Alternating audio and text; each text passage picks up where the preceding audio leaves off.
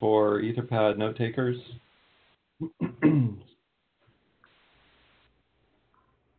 Anybody? need to this first thing we have to do, so let's.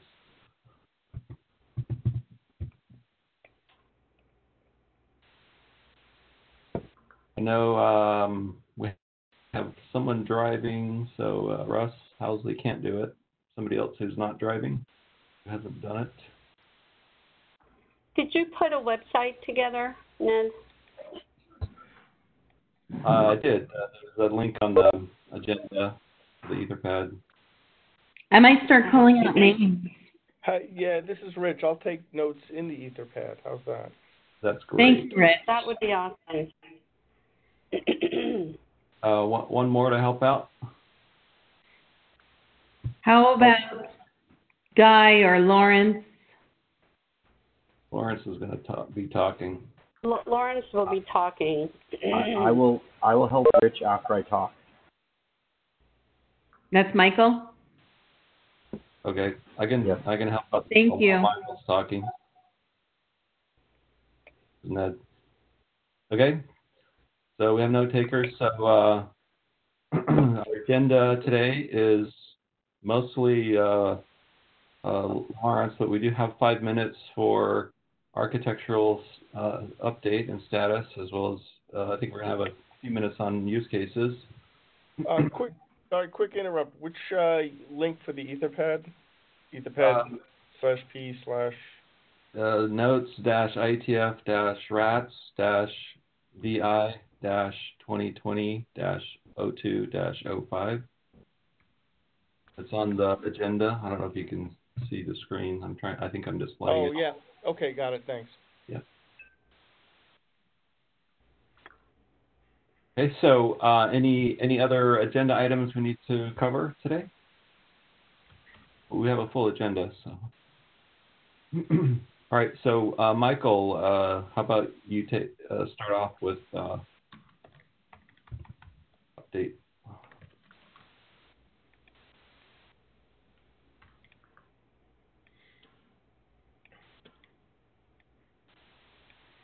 I, did I take the ball for displaying there?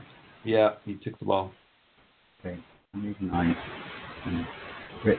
Okay. Ned, can, Uh, can you put the Etherpad link in the chat room, please? Sure. I did that actually already. Um, Oh, thanks. Uh, So, uh, briefly about the design team. Uh, we posted a new document yesterday. Um, the diffs should be quite useful. Um, who has it been? Um, and I, I feel I missed one or two people on this list. Dave Thaler, uh, Frank, William, Henk, Thomas, Monty, Ned, Eric, and I'm sure I missed one person here. Yourself. Myself. That's true. Myself is in the list, and I think there's somebody else that I've I've missed that's probably really loud, and I forgot about them because they're so loud. Um, so we've been meeting Tuesdays at 10 a.m. EST. Um, so yesterday we had a meeting. We had about eight meetings uh, since IETF 106. Um, eight open issues still, two closed. We had 21, uh, 23 pull requests. Two are still open. So most of the meeting has been spent um, going through the suggested text someone has proposed, and uh, a lot of heavy bashing and a lot of going around. I wouldn't say in useless circles, but sometimes it seems like circles uh, about uh, precise uh, meanings of words, and I think that that's a little bit what we're really that's what our, our goal is to nail things down. I feel that we're making a lot of progress, um, and we have I think a fairly good consensus process going forward.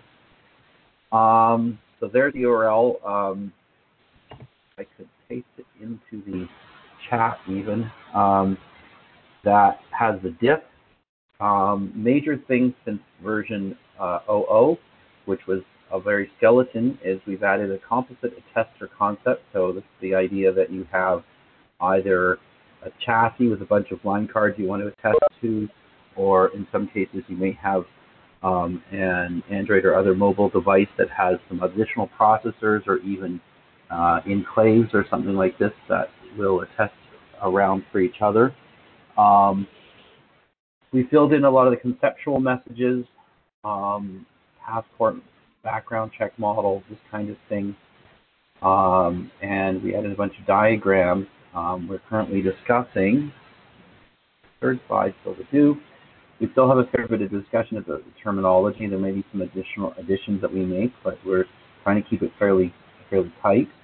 Um, we have an introduction that we need to write, um, and probably we'll just take text from one of the other drafts that was proposed.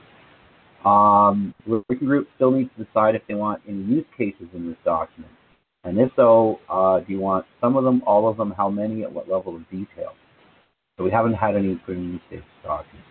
We have some text coming, uh, which is uh, on the essentially it's been called a layered approach to attestation, and this should be recognizable to many who are familiar with Secure Boot and uh, Trusted Boot, um, and how that that kind of process uh, works. And so that text will probably slide in the next week or two. Um, based upon the rate that we're going, I expect us to have a document that could be working group last called uh, by IETF, uh, or perhaps just finishing one or two things at IETF. Um, and that's about it. I guess I should I'll stop here for questions about what's going on.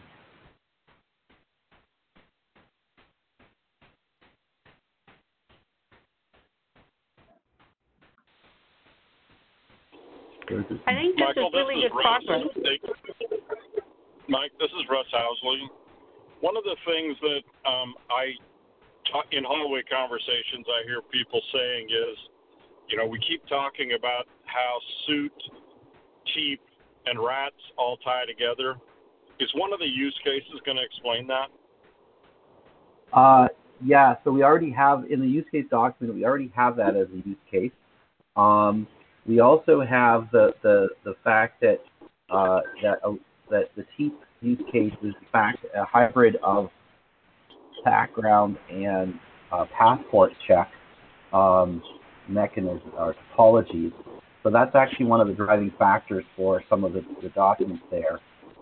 Um, as to how does suit uh, uh, precisely connect into it, um, I don't think that we have anything specific to say at this point.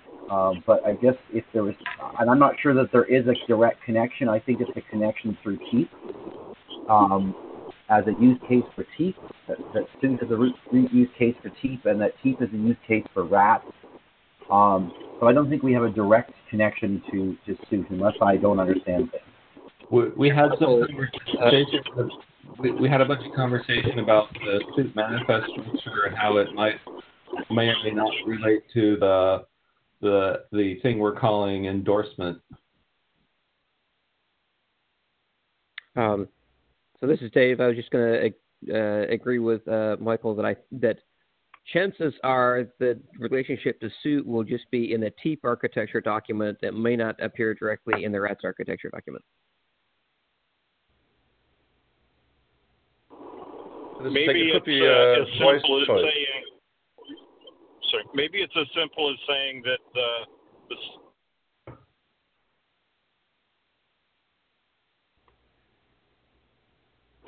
We can't hear you. Yeah, you're breaking up. Sorry, I'll try Russ, again. did we lose- Maybe it's as simple. No, I'm here. Hello. Go ahead, Russ. Yep, go. Right. Maybe it, maybe it's as simple as saying that the software needs to come from an authenticated source.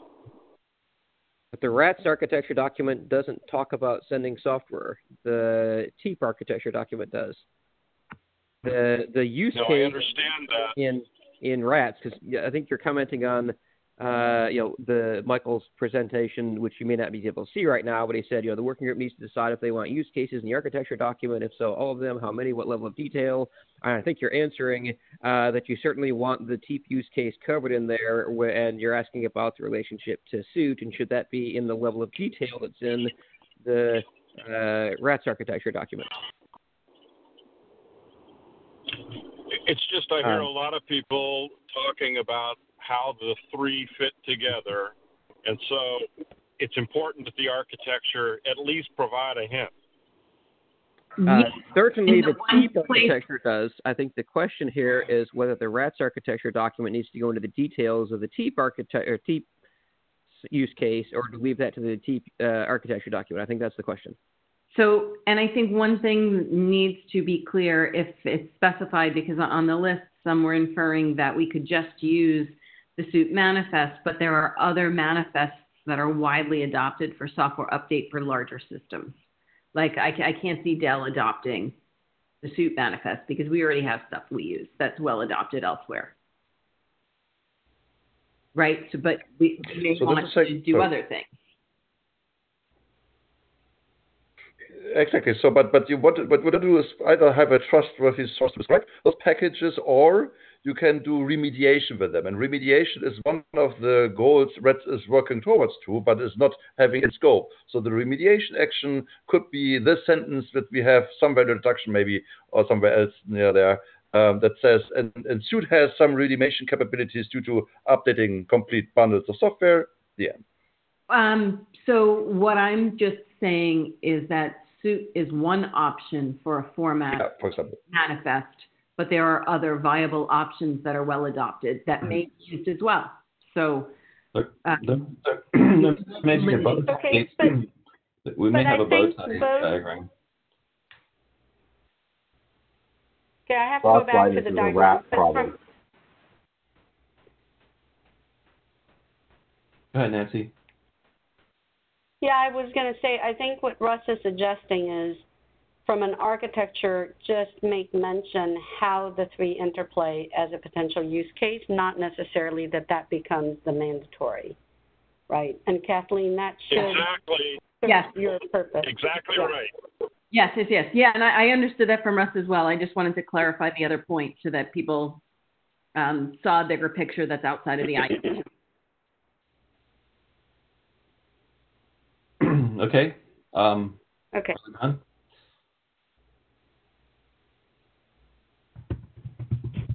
Going, going. Yeah, wait. Sorry, it was on mute. This Was there a comment? Yes. Sorry, this is Rich.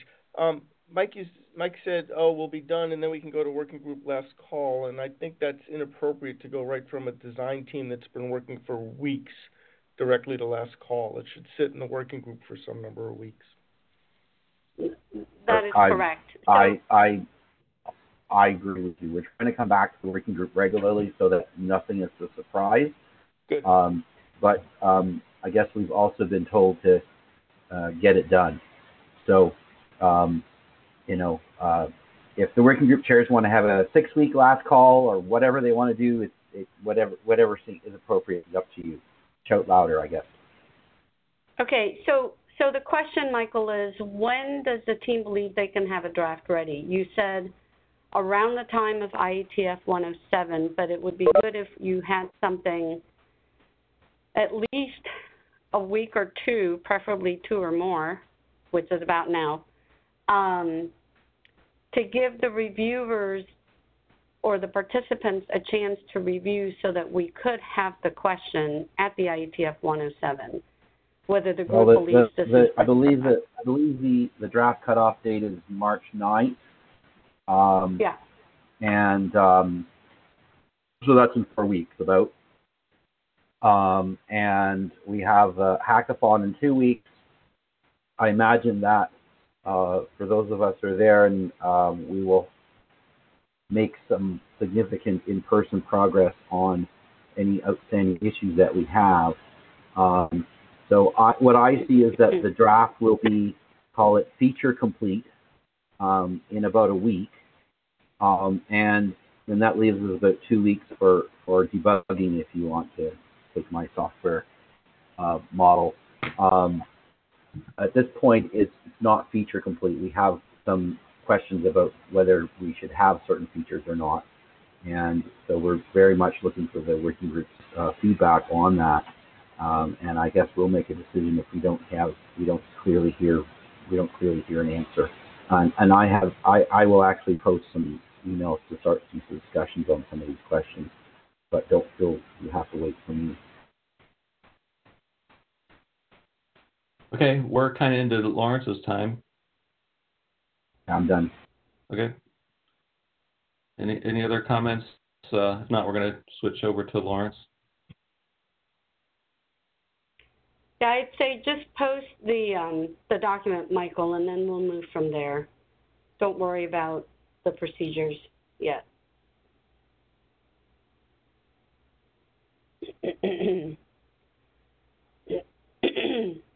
All right, I've made an attempt to start sharing. Can you hear and see? Yes. Okay, all right, I'll, let me jump right into it here. Okay, so um, there's been, uh, one of the open issues here was, well, let me, oh, sorry, back up a minute.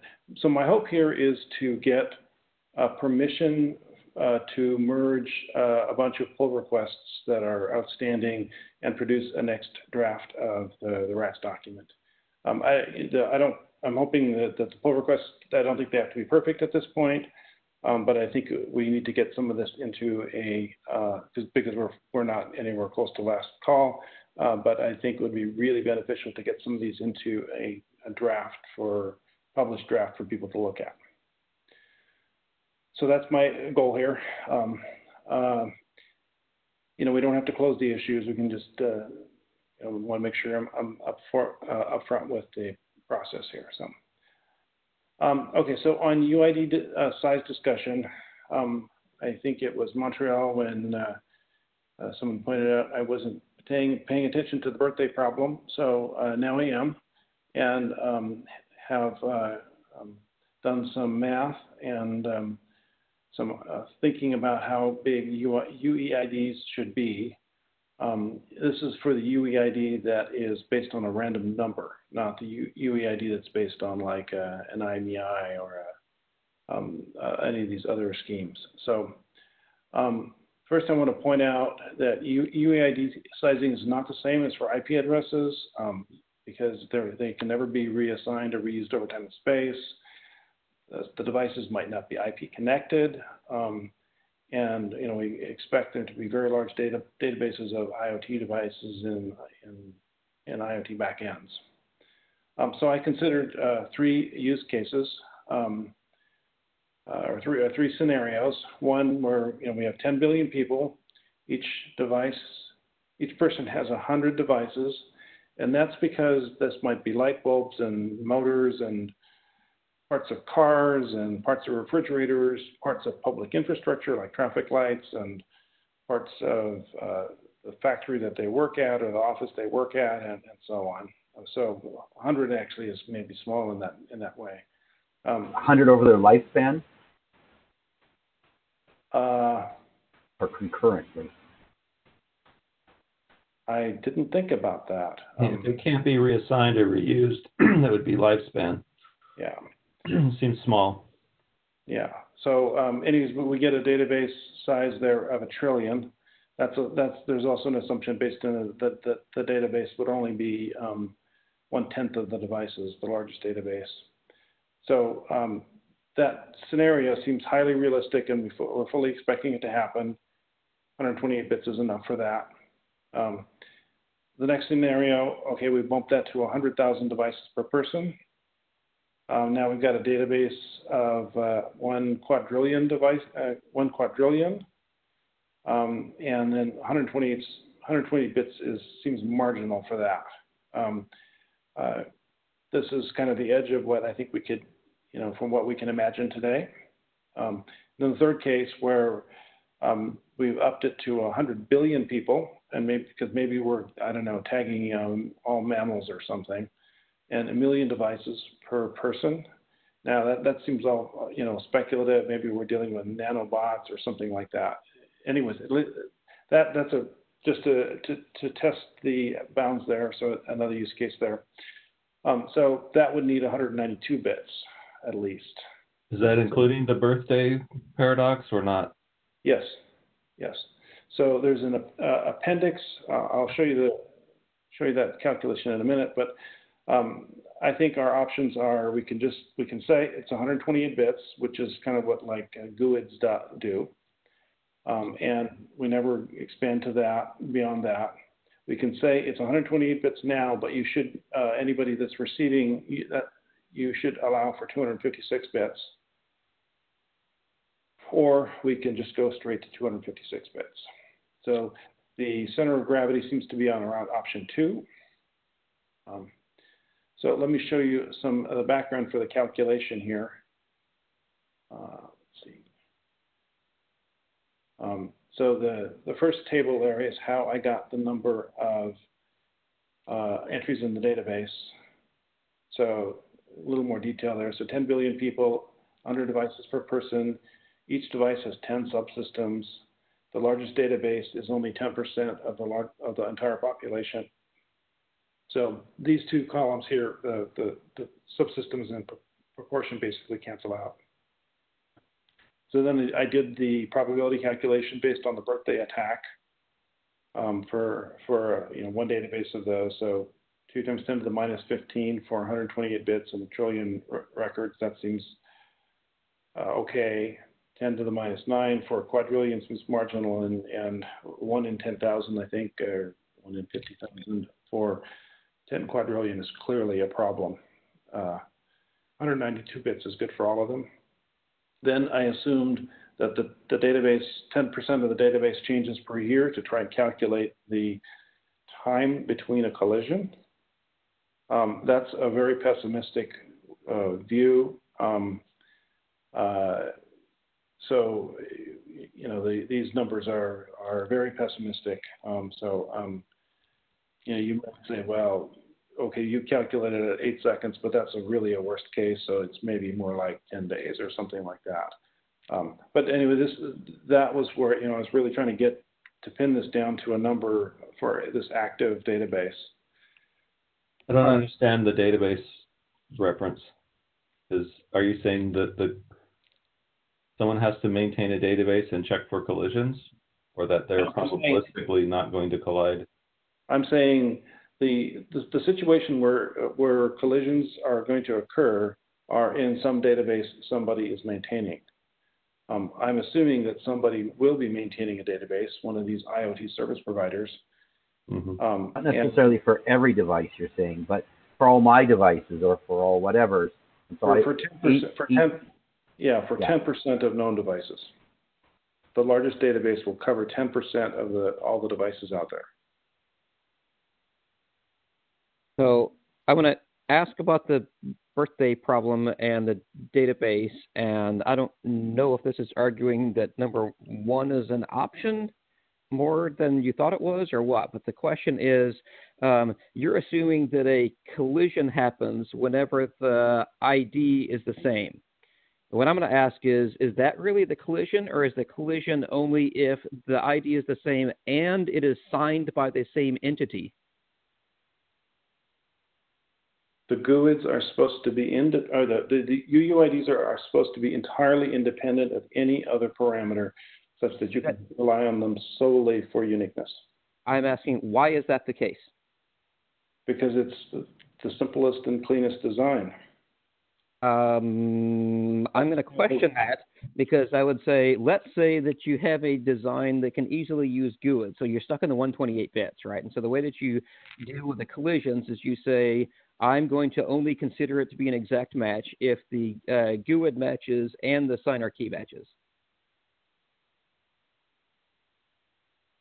What I'm wondering is, does that mean that 128 bits is more than sufficient for now and forever? That's my question.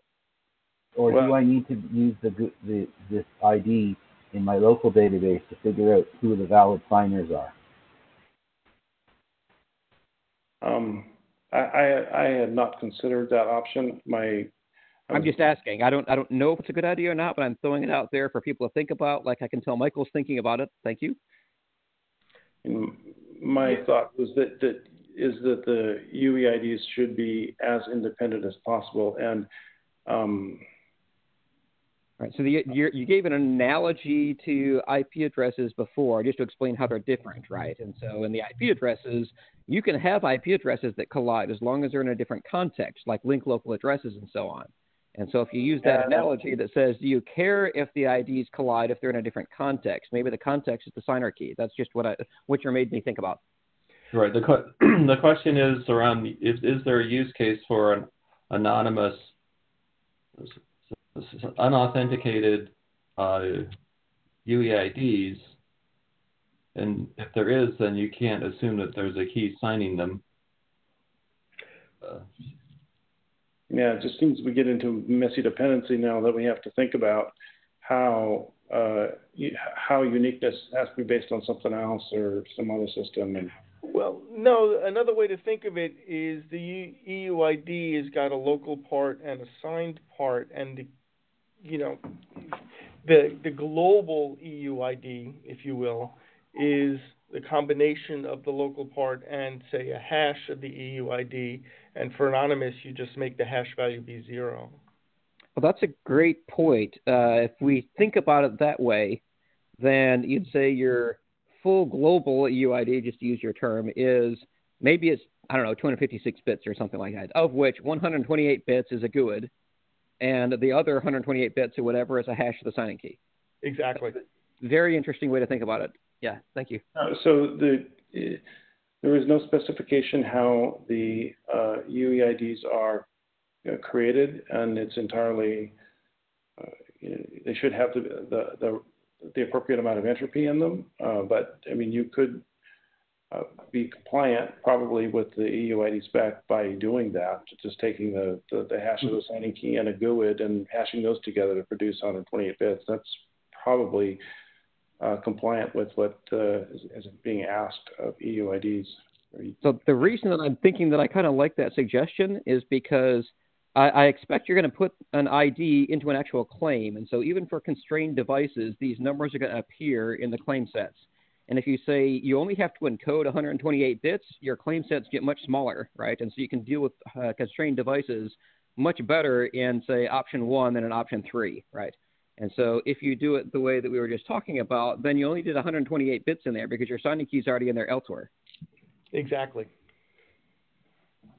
Yeah, I I don't I don't I don't like that idea. Um, well, for constrained devices, I think it's better than option two. 32, you can't afford 32 bytes? If you could, you wouldn't be arguing that, gosh, I need CBOR. Yeah, um, for other IoT, questions, are they makes it repeated? Are they repeated in different claims? Uh, if you look up at the top of the slide, it says subsystems per device, and so that means even within your own device, the average is here is you'd be repeating it 10 times. Yeah, different that's what I thought. That's what I thought. Yeah. Right. That doesn't mean they have the same signing key.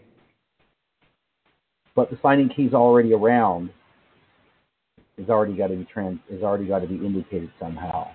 So, so those are ten, those are ten independent each uh, that may have oh. no that should have no relationship to each other. That's that that's not a reduction possibility. I I, I don't agree with that because those may be subsystems in the comp- in the composite evidence or subsystems in the layered one where they do have a relationship between them. So ten layers of some sort, or a tree of things of you know three layers with uh, various leaves, and so it's not just a chain; it's a tree. So there can absolutely be a relationship between them. But you're right; there can be keys that are different.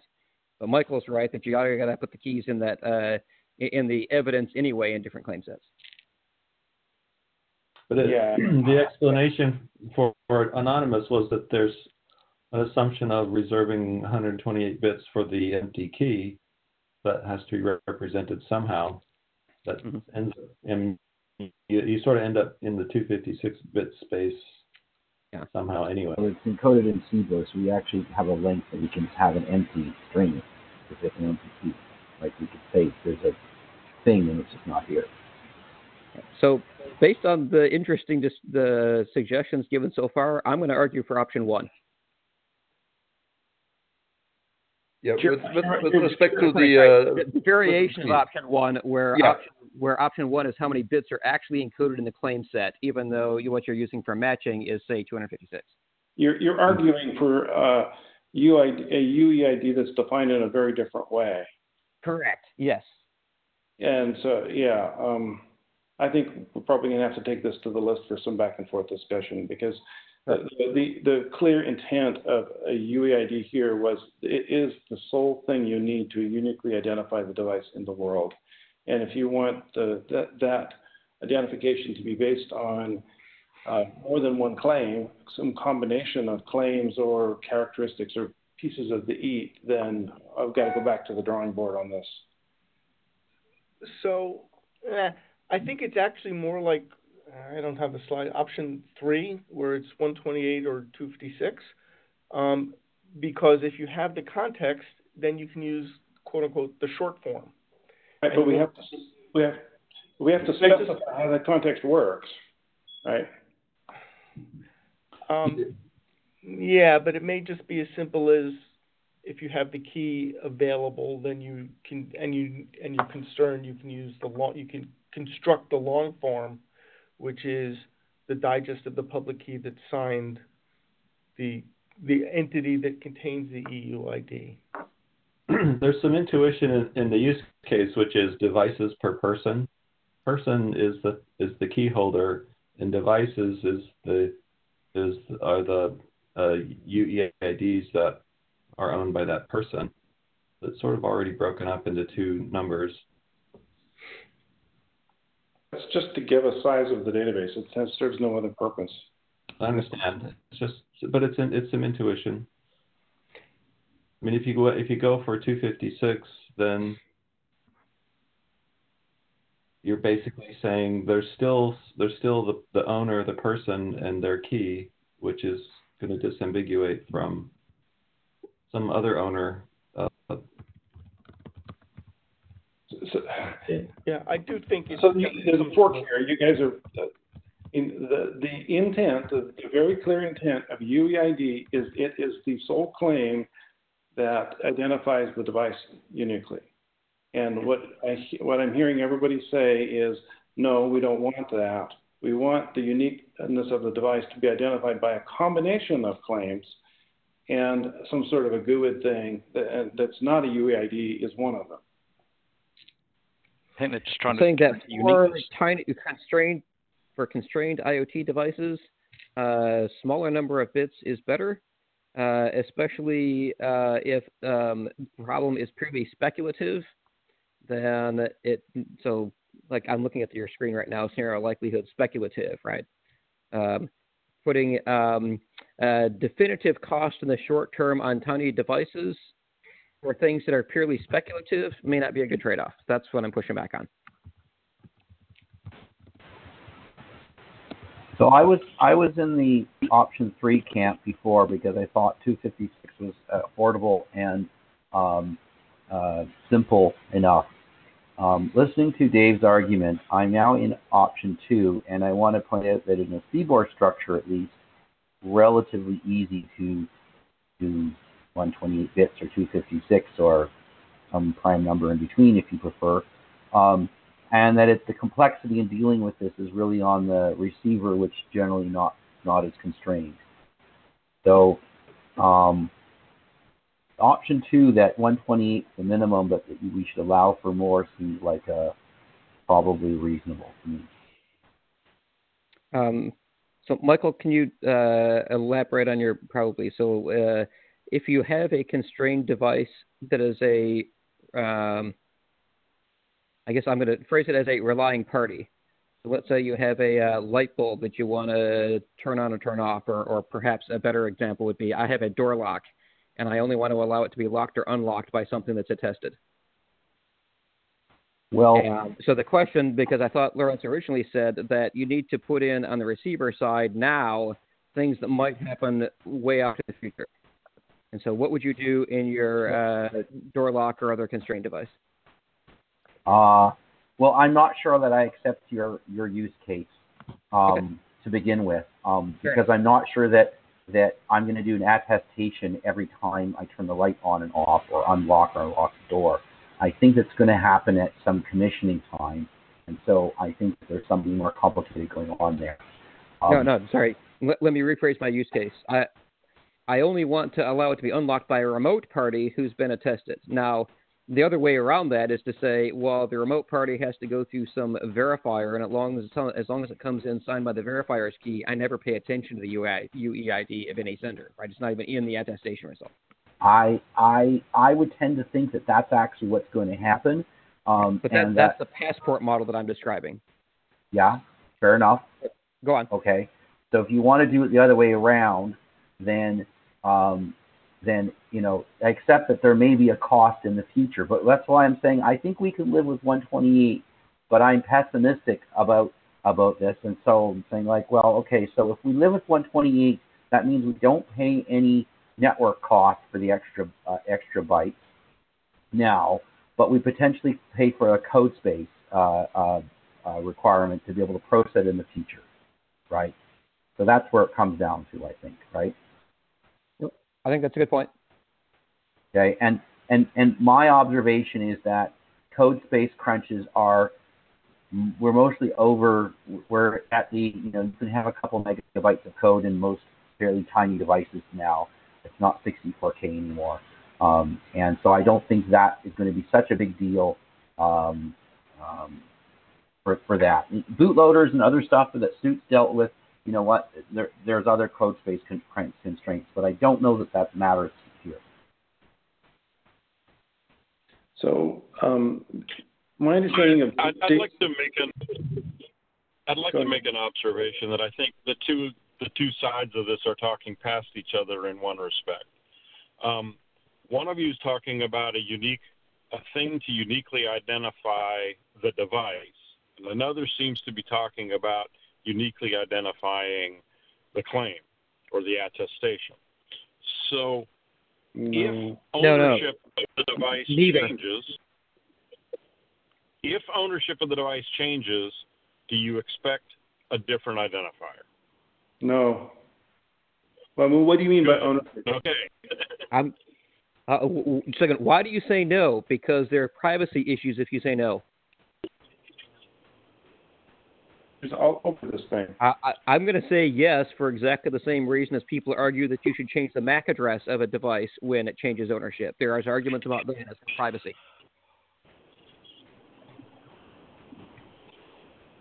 Yeah, I, I, I think it will change. I think it will. I think it will become the draft really very thoroughly.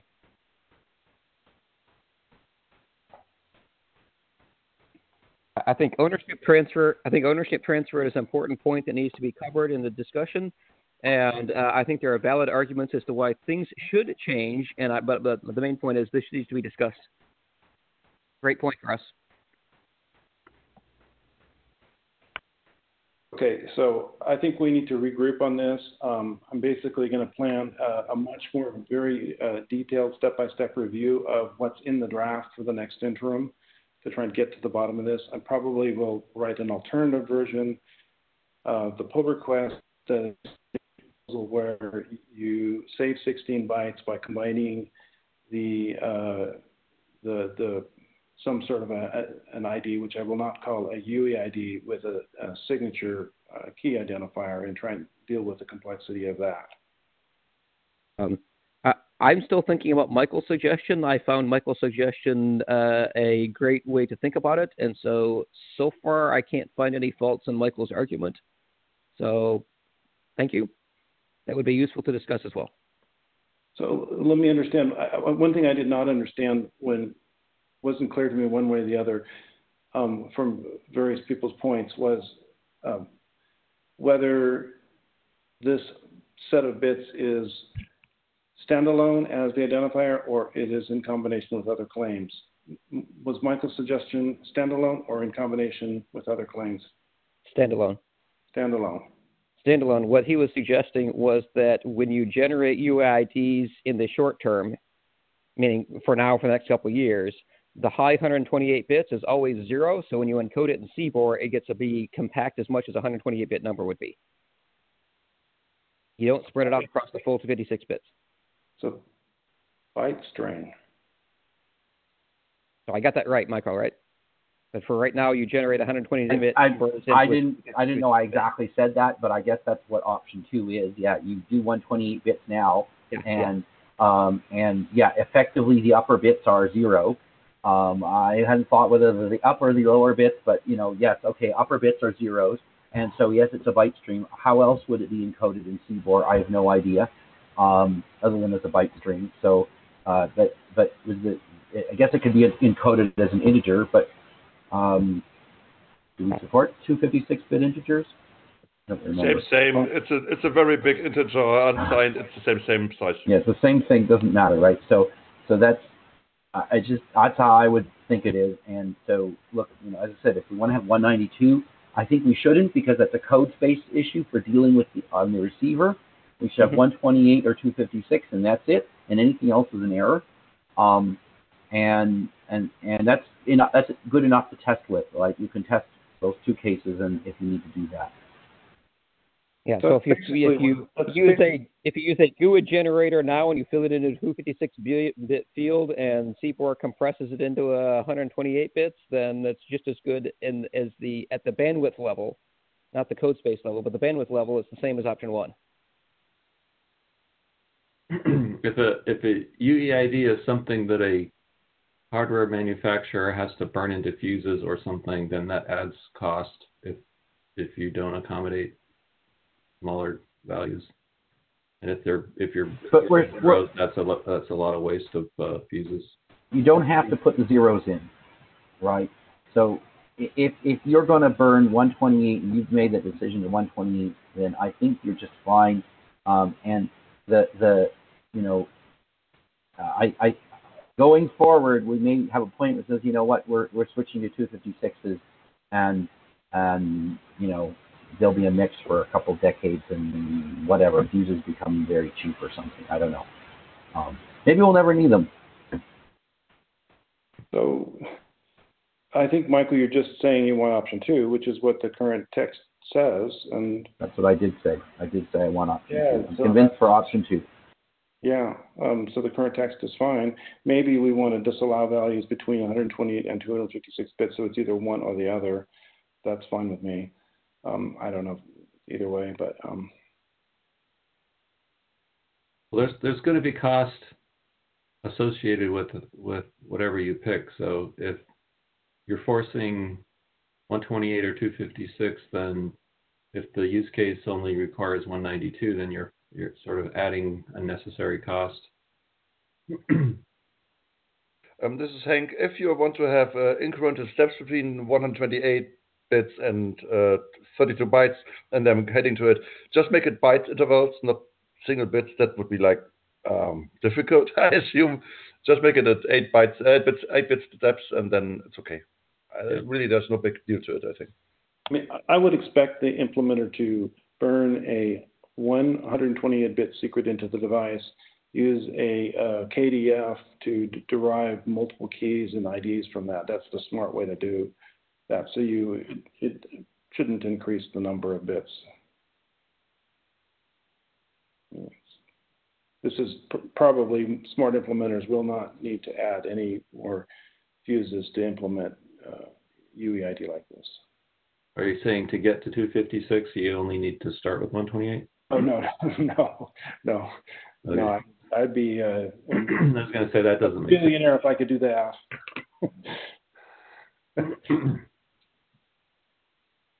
Okay, so, um, sounds like it's okay to merge. Are we okay to that, to merge that? Okay.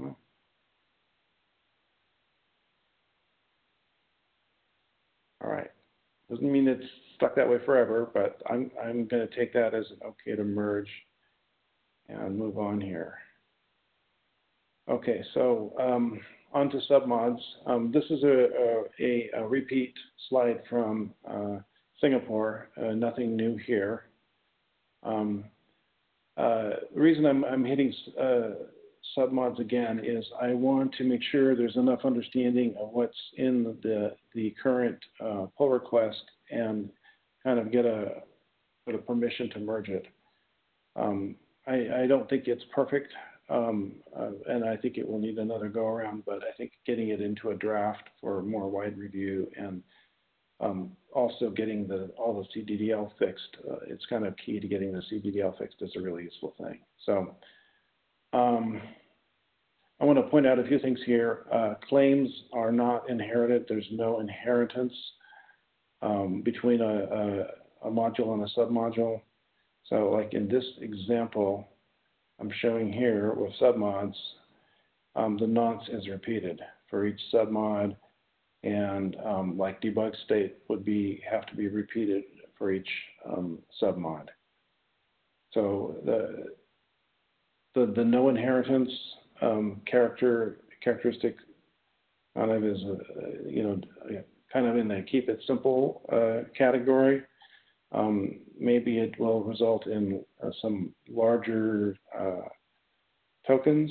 Um, I don't know. It sounds like that may be a concern, but um, if we don't, if we do inheritance, then we have to start coming up with inheritance rules, and they seemed scary to me try to come up with inheritance rules, especially like through some of these claims are complicated and hard enough to understand as they are.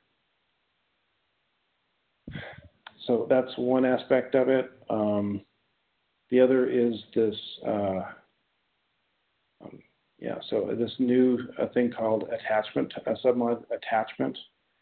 Describes how a submodule is attached to the attester. So the values uh, can be, uh, it's enumerated, it's unspecified, unspecified. Uh, device internal means it's in the same device enclosure. PCB internal means it's on the same circuit board. Chip internal means it's on the same uh, on the same chip. Is it so, mandatory? Uh, Specify? I mean, I guess so. I didn't really think think that through, but uh, you could if it, you would say unspecified if it's if you uh, don't know or. Well, I just say if it's, if it's optional, then unspecified is never going to be used.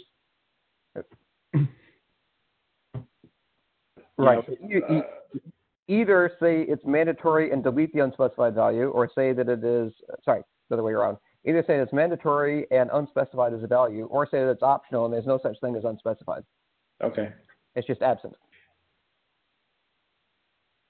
Yeah, I would second the last option, and I wouldn't make uh, a suddenly a claim mandatory out of due to this year. This is not a reason to make something mandatory. So, I agree. I agree. Yeah. Yeah, I agree. The and this presumes that there is a fixed set of possible ways to attach. yeah, I don't know if that's going to be reality. It's this is a difficult balance. Uh, I. Uh, how, how do you deal with evolution of of hardware design to sort of make it reasonable to say something so what if something is say uh, plugged in via USB cable? What does that make it? Yeah, exactly. Or it's a chiplet design, not really internal. It's a what kind of design? A chiplet. What's a chiplet? Exactly. well, well, well, please. I mean, I'm it's, I'm asking actually. It's it's it's just it's a sort of new concept where you you chop up the wafer into multiple pieces and you um, mix and match them to, to, to, come up with, with something that is uh, a lot uh, effectively a much larger uh, wafer. But it's, it's just made up of a bunch of small wafers glommed together.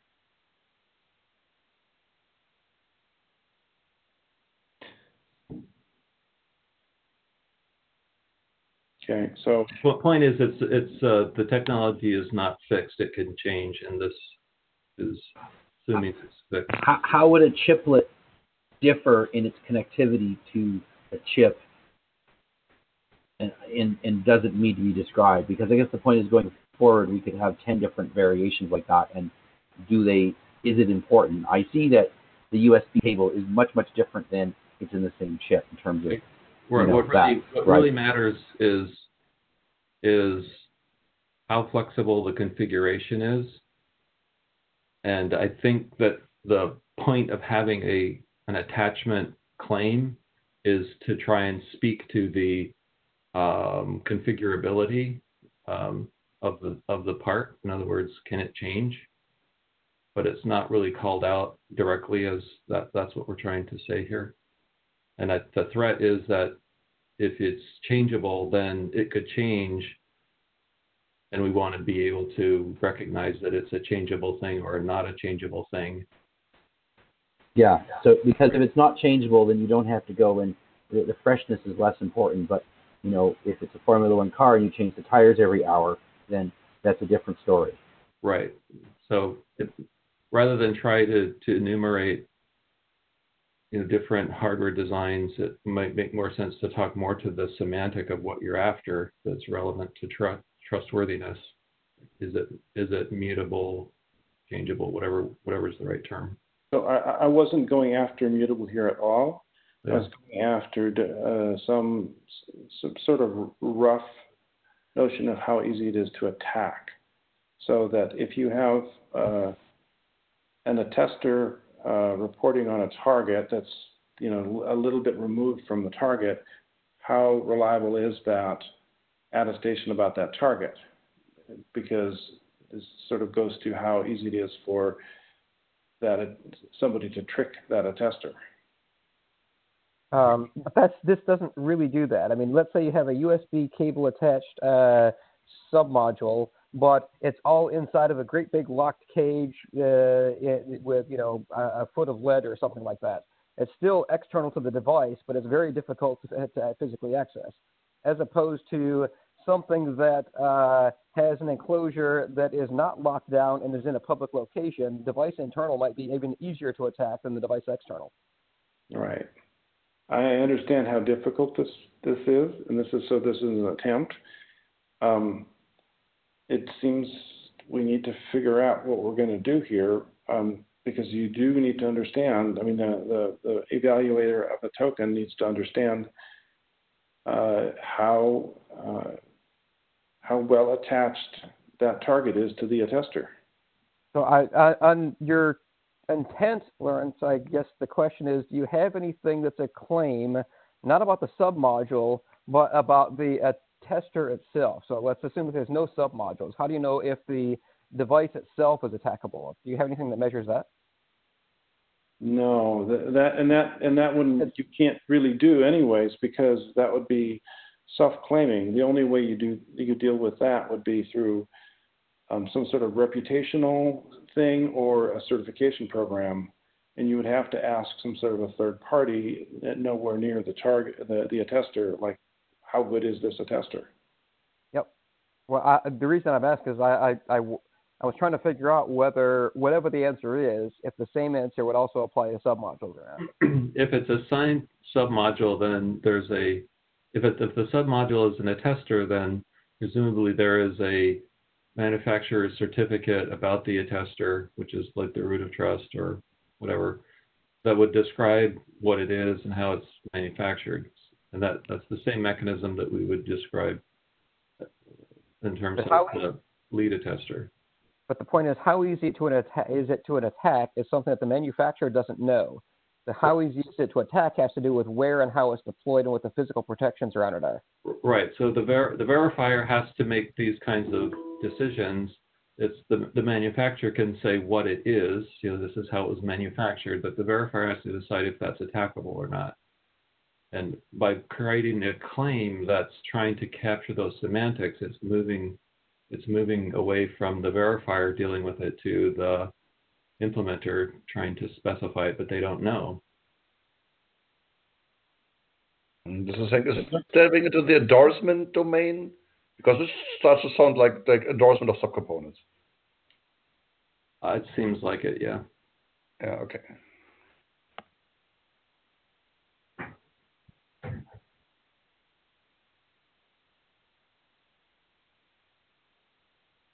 So how would that endorsement of subcomponents work? How how are you thinking?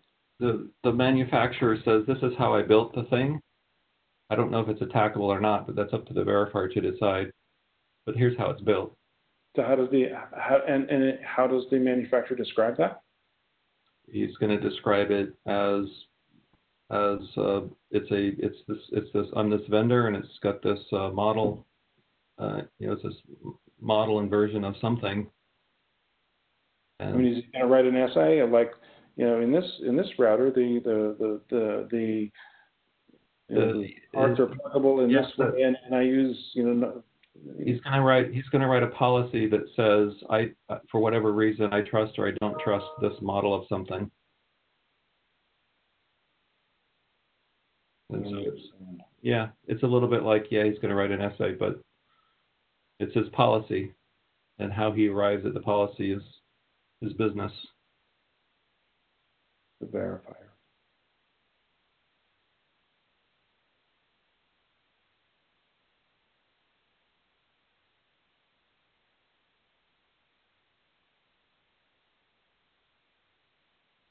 So based on that, you would just be removing this, this whole submod attachment claim.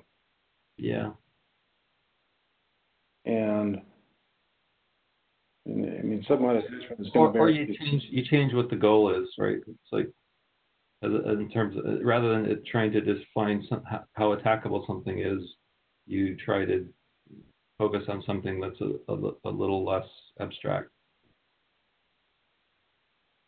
Like what? I, I would say it would tr- try to, try to focus on how, enu- enumerate how, how, um, modifiable it is or how flexible it is to, to, to, to, pluggable or not pluggable it is or how probable or something like that, I don't know.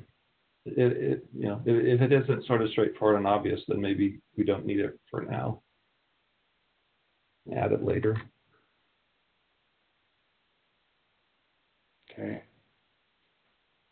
Um, so let's put that one aside for a minute and I'll show you the, the way I, I set up the submods here. So the, the submods is sort of, it's, it, it it kind of appears as a claim in the, in the token. I mean, it's, there's one um, label for the, a map that contains all the submods. Um, so I'm just saying like 20 here is the label for the, the for all the submods. Um, so I'm showing three submods here. Um, the name there's a name for each submod, and that is uh, the label in in the map. And, and each submod itself is a map that is basically uh, contains sets of claims.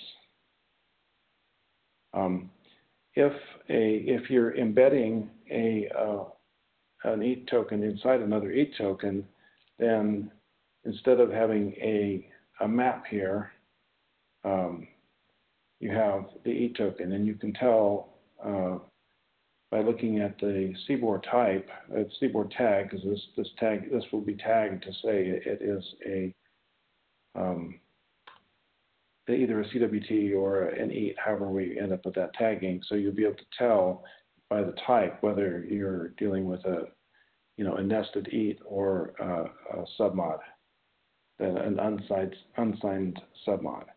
So that, that's the way the proposal is currently written. Is, Um, in terms of terminology, is submod always an unsigned thing? Is it E Uh, always a signed thing and a submod always an unsigned thing? No, no, a submod is either signed or unsigned. But it, but it, a signed Hey, submod. guys, is I, not just want to do a time check. We're at the top of the hour, so Yeah. we can wrap up. Okay.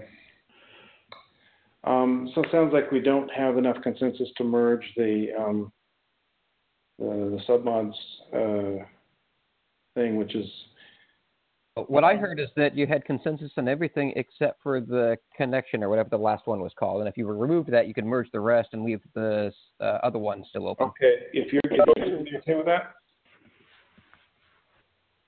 All right, so I'm gonna go for that, and I'm gonna do some cleanup on the CDDL at the same time. Okay. Yeah, I- so if you move the other one into a separate PR so we can continue discussing this attachment type and merge all the rest. I'll do that, yes, okay.